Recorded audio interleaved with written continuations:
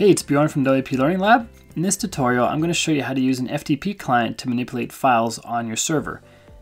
All the FTP clients, they work pretty much the same way. I'm using one called Transmit. Uh, it's a Mac FTP client, but all the Windows ones and the other Mac ones, they all work pretty much the same way. On the left-hand side, we have our desktop, in my case, the WP-PhD site folder. On the right-hand side, we have the actual server.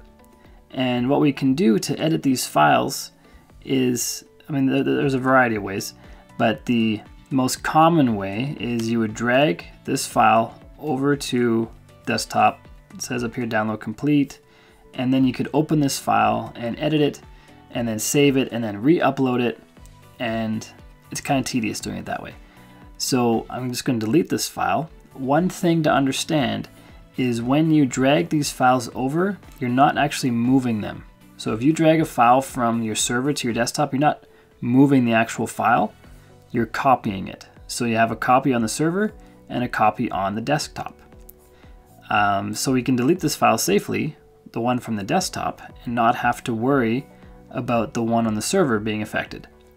Now the way I like to edit files is by right clicking on them and clicking on open with. Now most FTP clients support this, not all of them, but most of them do. And what just happened is I opened the file in a text editor called Sublime, Sublime Text 2, and then I can edit this file, and as soon as I save this file, transmit the FTP client detects there's been a change and it just uploads the changes, which eliminates all the steps of uploading, downloading, saving, re-uploading. It saves all that hassle.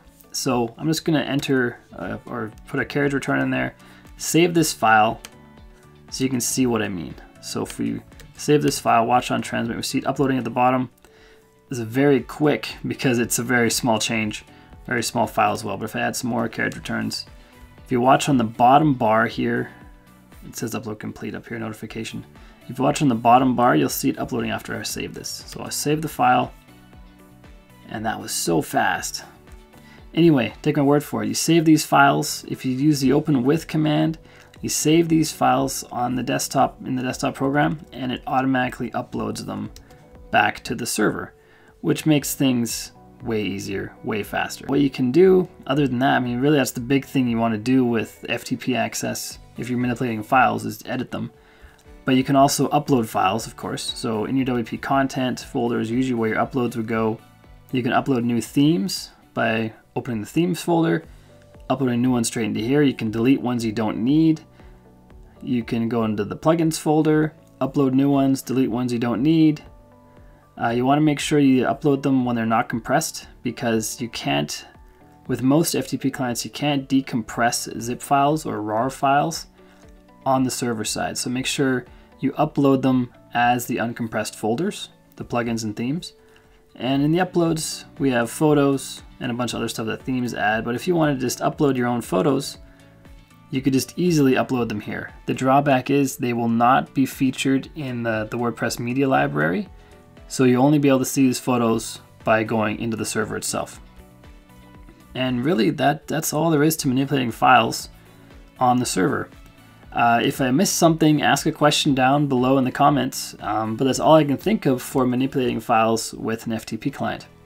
I hope this video helps you. My name is Bjorn Allpas from WP Learning Lab. Please make sure you like this video, share on social media, subscribe to YouTube channel, and check out WPLearningLab.com for more tech tutorials like this every single day. Talk to you soon.